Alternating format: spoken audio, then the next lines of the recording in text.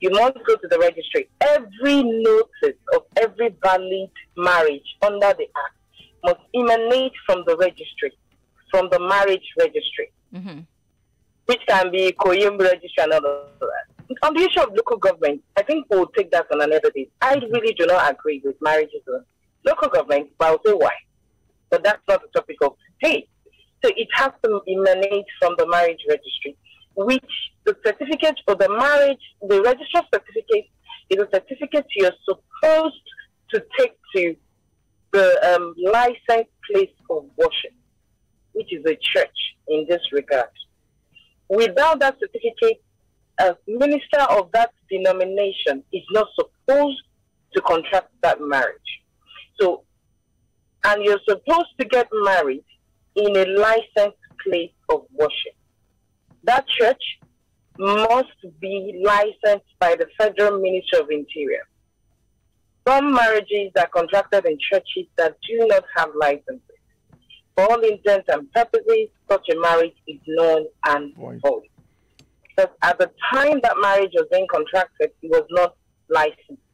Some licenses do expire. It's still the same consequence. Mm-hmm. So the marriage, the license must be valid at the time of contracting a marriage. So for some people, I would say you must be, if you want to get married in a church, it's not out of place to ask if the marriage is, if it's a um, licensed church, Mm-hmm. and you might even demand to see their license Mm. just to take precaution. Yes, most Orthodox marriage churches are licensed, most of them, but I cannot speak of you know the small Pentecostal churches. I Mhm. cannot speak of them. So even if you desire to marry in such churches, it is you can go through the ceremony, which will just amount to church blessing. Mhm. You can then go to the registry to get married successfully. So it doesn't take anything away from you by doing that. So if I if if I get you correctly, if I marry, if I do a, a, a church wedding in a church that's not licensed, it's just a marriage blessing. It is void. It is void. Hmm. Hmm. Very Yeah. important. So it is within your right as a person who's getting married to ask the church if Yes. they are licensed and ask to see the license because you know some people can ch- just tell Yes. you that they're licensed and then they're really not. Yes. So because there are a lot of churches coming up, and I can bet you most of all the small, small churches don't. I can tell you that the big churches, like um, Methodist and Big all of that, churches, they okay. might have. Mhm. Hmm. All right, yes, all the big Orthodox churches. And however, another part of it is the minister who is conducting that marriage must be a minister in that church. So Ah. you can't bring you can't bring a minister from Baptist church to come to Methodist church to contract the marriage.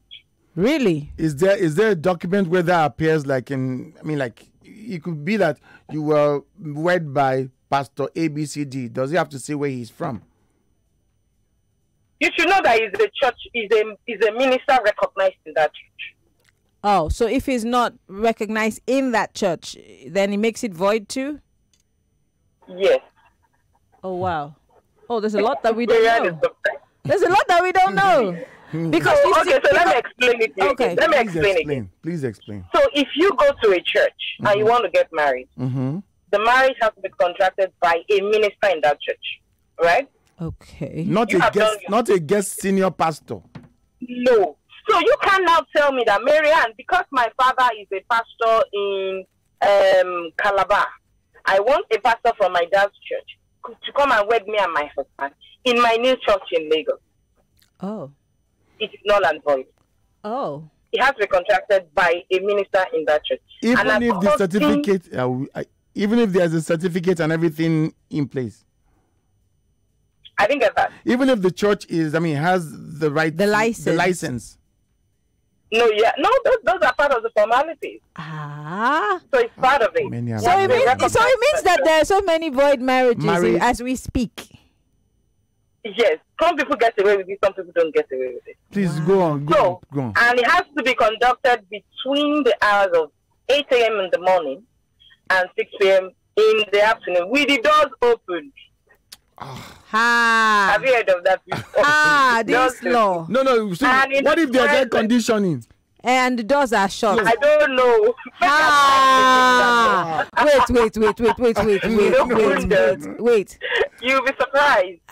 Open doors, and in the presence of two witnesses, there have to be two witnesses. this door thing. Uh, So because the you door see, can some of our churches are closed because Well, AC. air conditioned. Must Maybe, we, but must they we just said door open? Must we suffer to marry? I was going to. I thought you were going to ask me that there are sometimes you see people marry at the beach, uh, in a hotel. yeah, and like, all of that. yeah. I, I- I'd like to marry by the beach. What's wrong with that? You have to obtain a special license. From who? You must go to the registry to obtain a special license from the corporate from the marriage registrar. Huh? So the way the the requirement of getting married in a licensed church or a marriage registry, it can be waived. So hmm. you need a li- a special license to conduct that.